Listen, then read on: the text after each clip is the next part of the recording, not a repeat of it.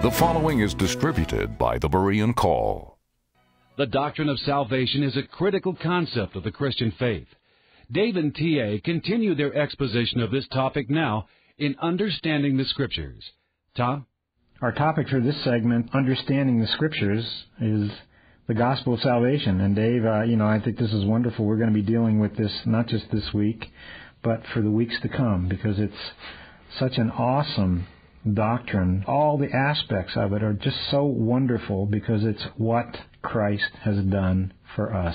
Last week we talked about the the gospel, where it came from. Some say today, well, this was just an idea, a teaching that these people made up who followed Jesus, and it's basically man-made, man man produced. But we know from Scripture that's not true. 1 Peter 1 20, 21 tells us, He, that is Jesus, indeed was foreordained before the foundation of the world. That is foreordained to be the sacrifice for our sins. Right. He's also called the Lamb slain Right. from before the foundation So of the world. last week we talked about prophets, how that was a testimony, a testament to how the gospel, uh, the word of God, had to be exactly that, had to be His word because of prophecy. It- it- these are proofs to that effect. But it's awesome to consider that the gospel of our salvation was in the mind and the heart of God before creation. What we want to do is explore as much about the gospel that we can, and some very basic things. Before humanity was created, it was in the mind and the heart of God. This wasn't something that He was trying to solve.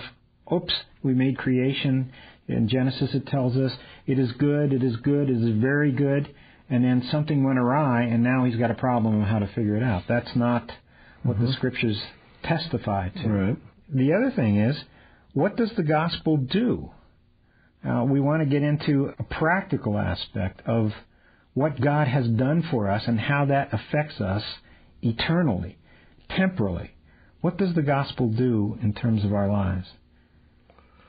Well, we quoted last week Ephesians 2, 8, 9, and 10, for by grace are you saved. So it brings me into the grace of God and creates a, real gratitude on my part for that God would would forgive me, that He would save me. By grace are you saved through faith, and that you know it causes me to believe God. Now I'm trusting Him, and that not of yourselves; it's a gift of God. So again, I, I'm very grateful to God because He's given me a gift that I couldn't pay for. By grace are you saved through faith, that not of yourselves is the gift of God, not of works, lest any man should boast. So I've been humbled.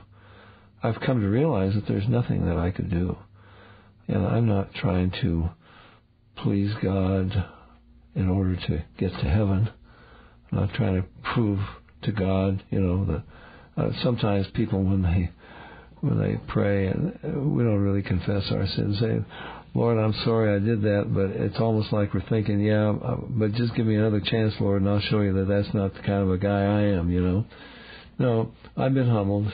It's a, it's by God's grace and by God's mercy. It's a gift that, that I couldn't earn. But it says, we are created in Christ Jesus unto good works. If any man be in Christ, Second Corinthians five seventeen, he's a new creation. Old things have passed away. All things will become new. I mean, I can remember, oh my goodness, 60 years, coming up 60 years since I opened my heart to Christ. And I can remember like it was yesterday. There was a transformation in, in my life. I had been, uh, well, I'm, I'm I'm almost ashamed to admit it over the radio, but but I was kind of a difficult person. I'd been in at least a thousand fights probably more. And this was the summer before I entered high school. I mean, my life was completely changed. I remember when I stood there and let some guy hit me because I, I just couldn't in my heart. It was my fault. And I couldn't double up my fists and, and go after him. And, and the guys that saw that were just absolutely astonished. I remember the night that I was saved for the first time in my life, I wasn't afraid to die. In fact, I almost wished that I would, so I would meet the Lord that I now loved, and I had and I had just met. He'd come into my into my heart. So when we're born again, there's a transformation that that you can't escape. We I have a new hunger for the Word of God and a, a new understanding uh, of the Word of God and a desire to tell others. It's a complete transformation when we really meet Jesus. Mm-hmm. We quoted this last week. For I am not ashamed of the gospel, for it is the power of God unto salvation for all those who believe. Mm-hmm. And even the believe part of that, I mean, that it's another demonstration of God has to be involved. Because if this is something that truly we can't do, God has to do for us, right. Then even the way in which we receive this has to be so unique that it covers everybody, from the youngest, from those with learning deficiencies, those with brain damage, those it, it cuts through all that. All they have to do is believe, and only God could bring that. One of my favorite examples out of the scriptures is the thief on the cross. Mm-hmm. What could he do tied to that cross? What could he do? Nailed to that cross. Right. The thief was nailed. Right. I think he was. Do you? Okay. Yeah. Well, yes, that's what they did. That's what crucifixion was. Mm-hmm. But what could he do? Well, he certainly had nothing to offer to God. Right. He didn't even have a life. He couldn't do any good works. But he could receive as a free gift mm-hmm. salvation from Jesus Christ. And he apparently understood who Jesus was and that he was dying for his, in his place for his sins. And what does Jesus say to him? This day. Mm-hmm. I mean, the promise of salvation from the, the lips of our Lord and Savior right then and there. Absolutely incredible. Mm-hmm. This day you will be with me in paradise. The man believed. Mm-hmm.